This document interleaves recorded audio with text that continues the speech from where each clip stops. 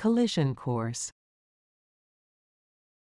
The idiom collision course is used to describe a situation where two or more people or groups are heading towards a conflict or disagreement that seems inevitable.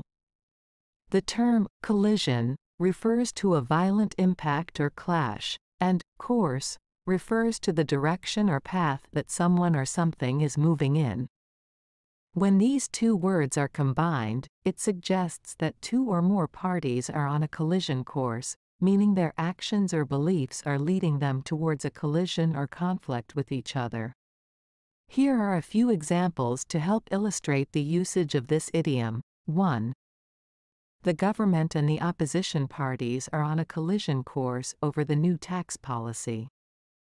Both sides are deeply divided, and it seems like a clash is inevitable. 2. The company's management and the labor union are on a collision course, the negotiations have reached a deadlock, and a strike is looming. 3. The two best friends are on a collision course because of their differing opinions on a controversial topic. They used to have friendly debates, but now they avoid discussing the subject altogether.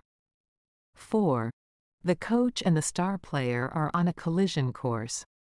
The player's constant disregard for the team rules has created tension, and it's only a matter of time before a confrontation occurs.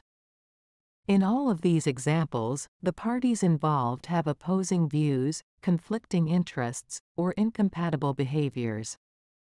The idiom, collision course, emphasizes that a clash or conflict is imminent unless there is a change in direction or resolution of the underlying issues.